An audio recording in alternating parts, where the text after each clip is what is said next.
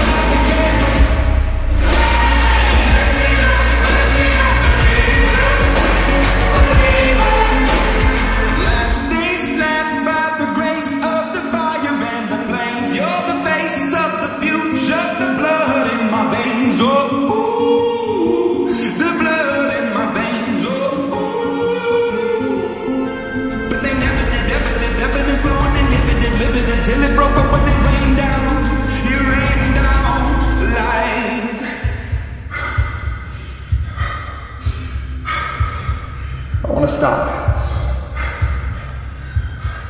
We can't.